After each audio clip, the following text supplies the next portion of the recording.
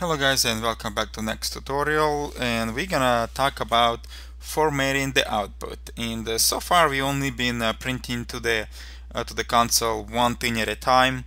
And um, uh, let's look at the example um, how to do more than just one. And it's just uh, some sometimes it can be pretty confusing.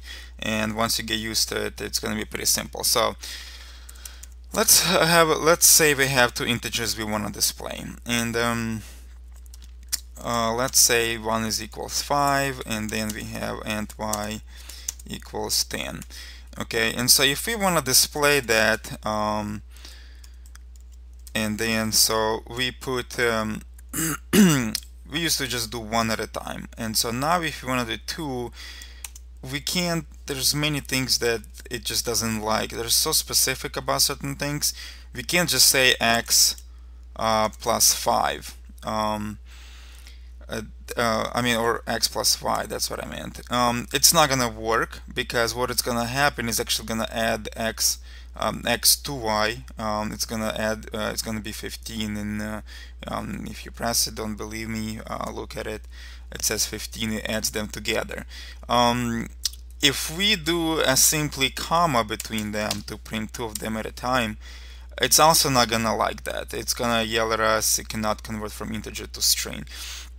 And the, the, the reason why is because it, it prints as a string and it treats this inside as strings. Um, it likes to treat that as strings and it, it, can do only one at a time if it's an integer. So if we press just y it's gonna print it. But if you do two it's not gonna print. So the one way to do it is we can convert um, convert um, each of them to strings first. Okay so we can say x dot um, to string um, and we can um, do that way.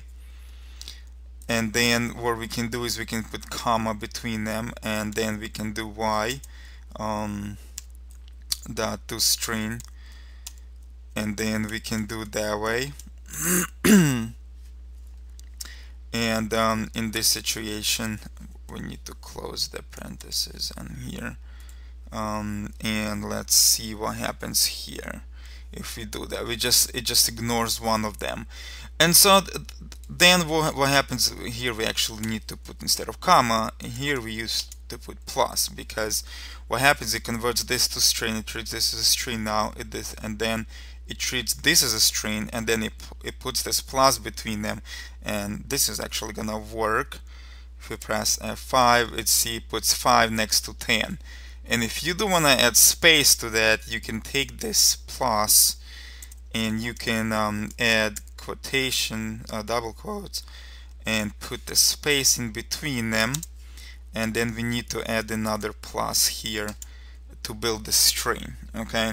And then now if you print this uh, control F5 we're gonna see that there is a space between them. This is what we want. It's it's kind of a little complicated as you see right here.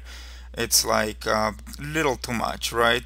Okay so there's another way to do it and um, let's see we're gonna comment this out and the one that we're gonna use most of the time is a little different and a little bit confusing at first okay? So um, we're gonna write line and inside of our parentheses um, what's gonna happen is that we're gonna build a string um, so we're gonna put our double quotes in here and um, this is inside what we want to build the string in okay so we want to do two numbers right so instead of just uh, putting the variables in there, we're gonna put placeholders, okay? And those are these curly brackets right here. And then, so we have two of them, right? So we have two numbers, and then we want a space between them, okay?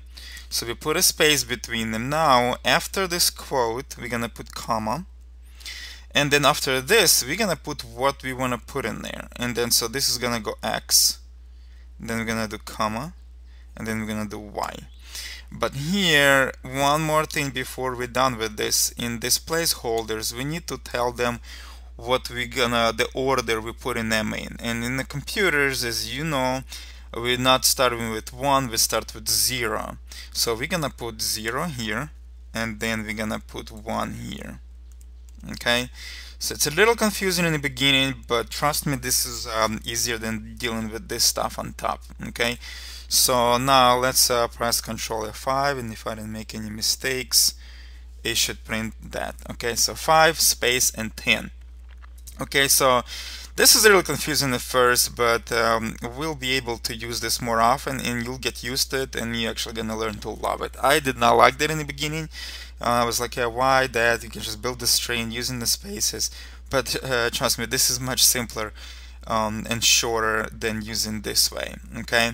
And um, if we want to do let's comment this out and uh, run a little more example a little better example. If you want to do uh, let's say we want to say um, hey your lucky numbers are and print these two numbers okay? So let's do this console dot write line and we do want to put our um, double quotes. And then inside we're gonna say your um, lucky numbers are and then we want to do space. And then we want to use this curly brackets right with the zero inside for the first spot and then we want to do space say and space and then we do curly brackets and then inside we put one and then at the end we put comma and we put x we put comma put y and that's it okay? And let's uh, print make sure this is what we want to see.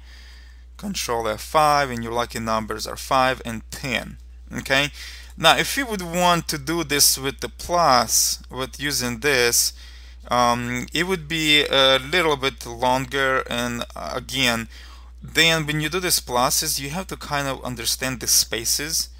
And then if you forget the space it just gonna put them together. And then if you forget the plus it will give you an error.